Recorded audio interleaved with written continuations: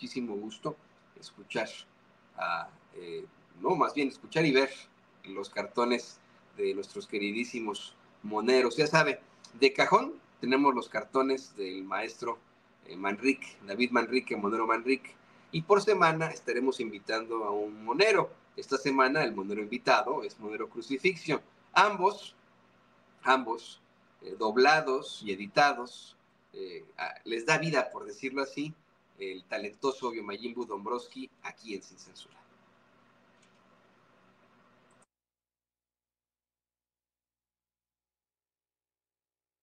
Síguenos en las redes sociales de Luces del Siglo. Arribista. Dictadura. Fascista. Que persigue al periodista.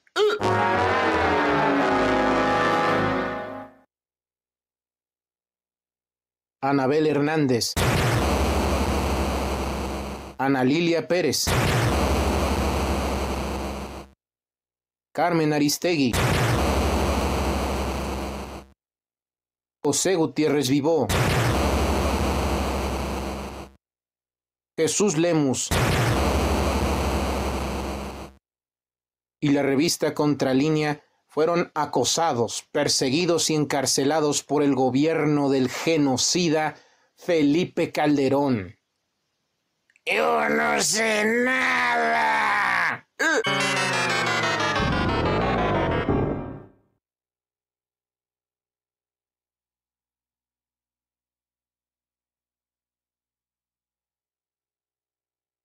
Síguenos en las redes sociales de nuestro monero invitado. El payaso.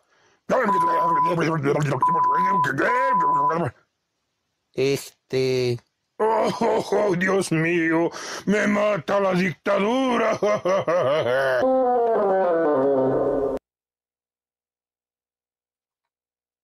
Bueno, pues ahí lo tiene usted, muy interesantes.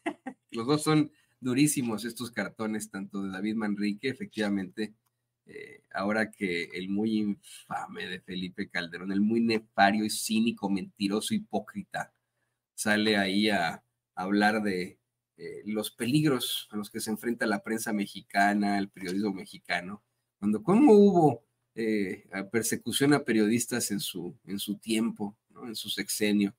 Y bueno, pues ahí Brosito, ¿no? Brosito con sus exageraciones. Fíjese, Hace un par de días que sacamos un clip antiguo de Broso, antiguo porque es de algunas semanas, no tampoco tan antiguo, en el que hablaba de, cómo es que no ha habido algo bueno en todo el gobierno de López Obrador.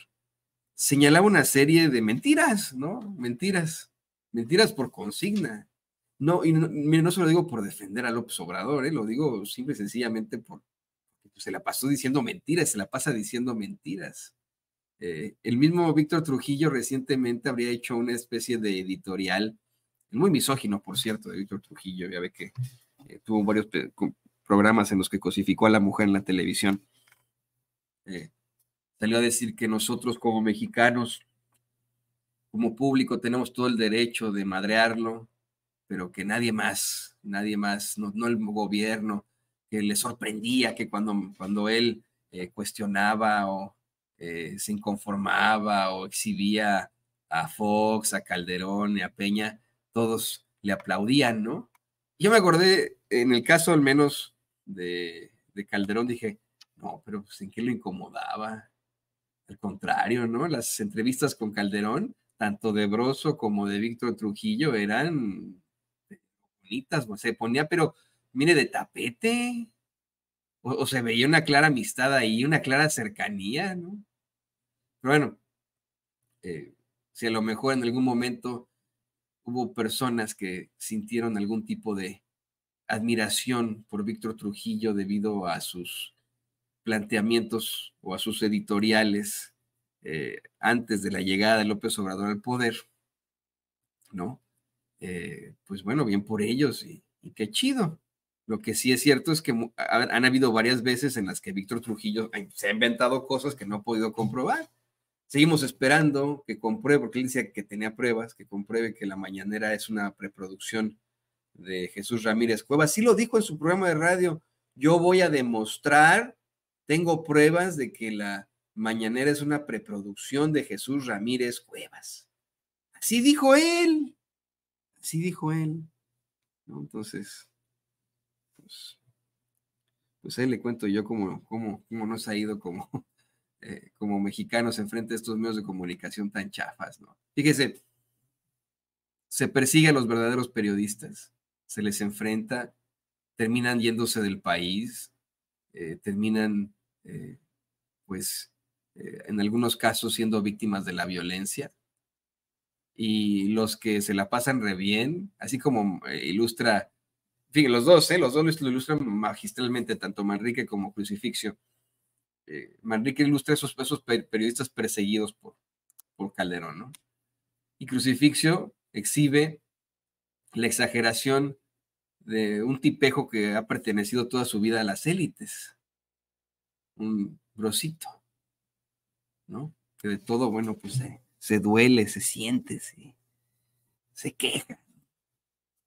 Decía que mientras hay periodistas perseguidos, los buenos, hay periodistas que se han enfrentado a la violencia, los pseudocomunicadores que detentan los principales nichos en los medios de comunicación corporativos, que algunas veces disque independientes eh, por estar en las redes sociales nada más, eh, exageran o, o simple y sencillamente, bueno, siguen incurriendo en las peores pifias, en las más infames pifias y fakes.